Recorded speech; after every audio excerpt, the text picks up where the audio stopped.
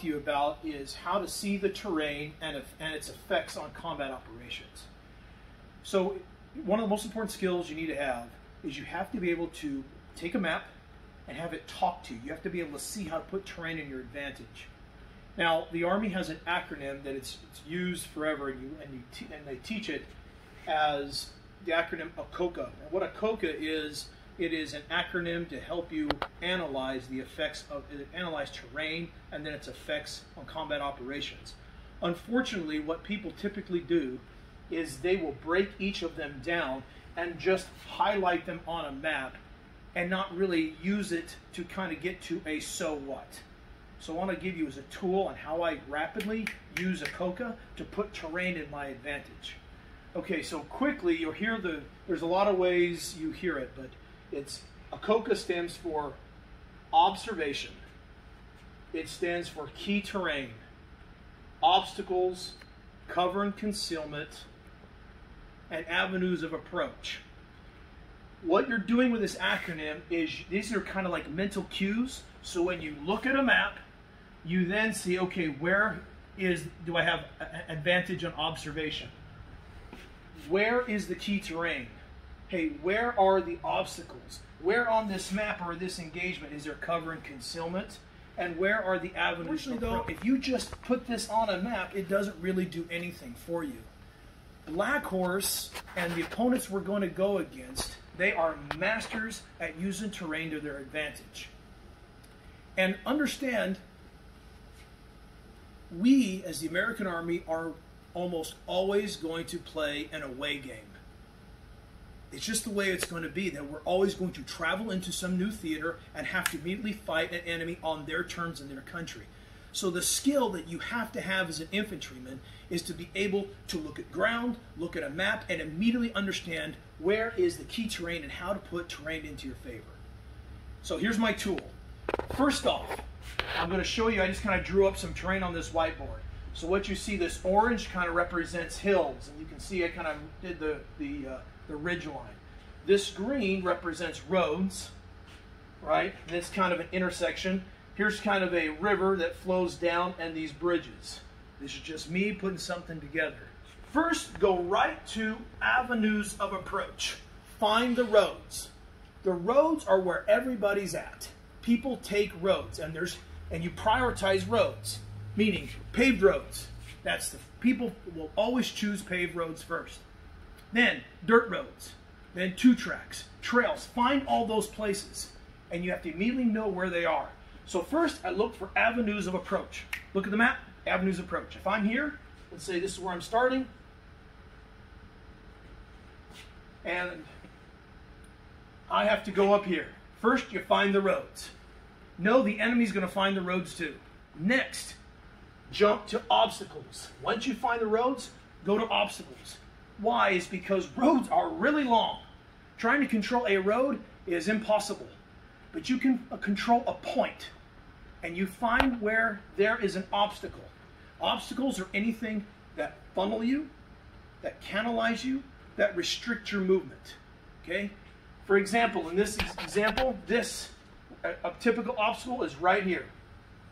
These bridges. Why? Because all traffic has to go, there should be a bridge right here, all traffic has to go across bridges. Know the enemy will identify those as well. So you find avenues approach and quickly find all the obstacles. They can also be a choke point. If you look, see where this road's going to go right in here. The roads are going to restrict you to this area, canalize you. So, out of avenues approach, find those first, and then start finding all the obstacles. Once you find that, then you'll easily look for what gives you observation over those obstacles and these choke points. So for example, if I was going to provide observation, anything to control these obstacles, this little hilltop on this side probably is a great spot. I can control here and here just from that one position. If I get that, I have observation. Another one probably be something about right here, depending on how far I can look. I can see here, I can see here. Look at this choke point. I would put somebody right here and maybe someone right here. So once you find these locations, you can quickly identify the avenues approach, where the obstacles are, and where the observation is that overwatches those points. Now, what have I done? I have combined three things. When you find a location that combines avenues approach, obstacles, and observation, what does that tell you? It's probably key terrain.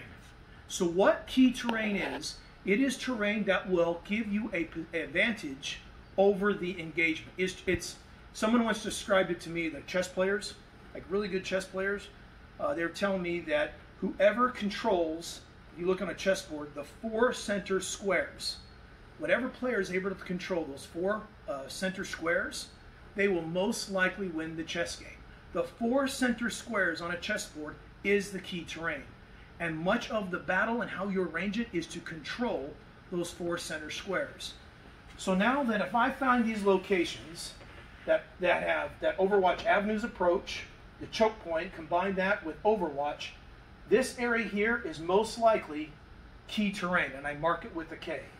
If I can control that point, I control all of this. If I can control this point, I can control all of this.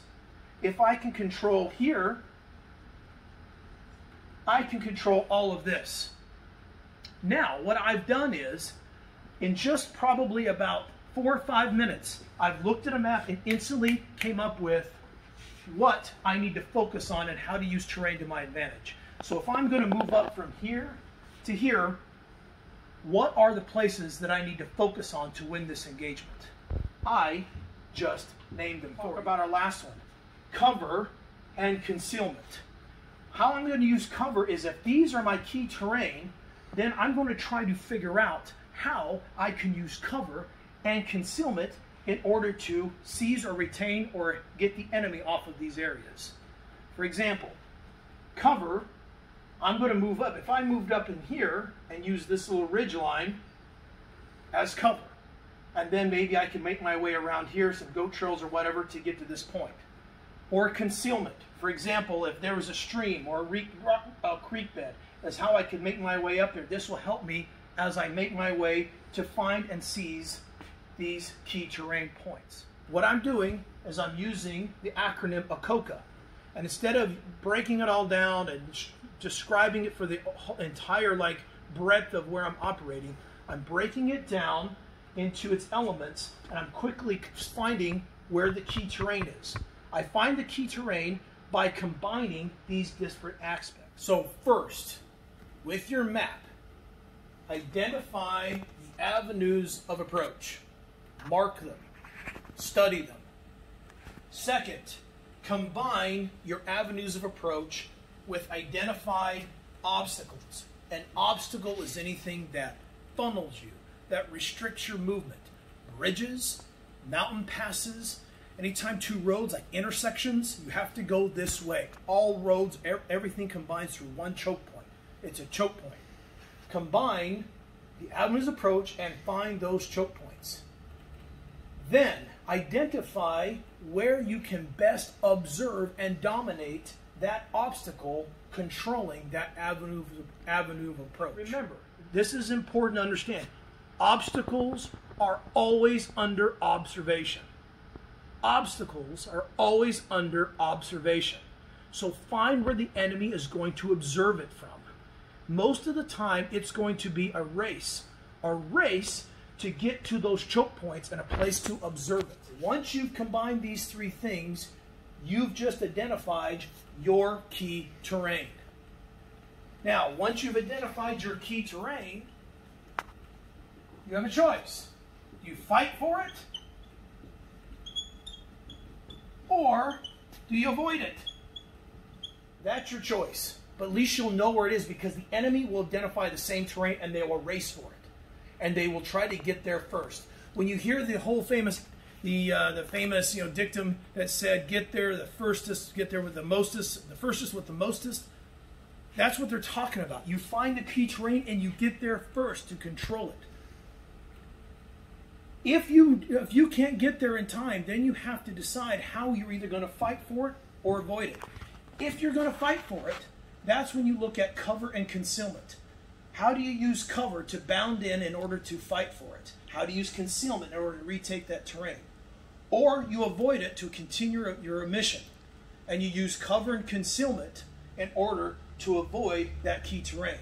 Because the only reason that's key terrain is because the enemy and you are there. If you move, it's no longer key terrain. It's just you terrain. identify key terrain and it's not to your advantage. You either have to take it or avoid it. But if you are in a position of disadvantage, move. Go someplace else. And that key terrain no longer is key. It's just terrain. It's just a hilltop. It's just the place that guys people up there Anytime you have an avenue of approach with an obstacle, that's and then where they're going to overwatch it, that becomes key terrain. So now we have a choice. Can we get there first? If we can't get there first, then we're most likely going to have to fight for that. So therefore, if we're going to have to fight for that, how are we going to do it? Well, we've talked about you know how we employ the make that into you know a kill box, and how we're going to you know move up and drop mortar fire up there. How we're going to uh, how you use cover and concealment. For example, maybe we make this approach up here by this cover and work our way around and so on and so forth. But that's you're going to then look at cover and concealment as a way to get in in order to fight for that key terrain.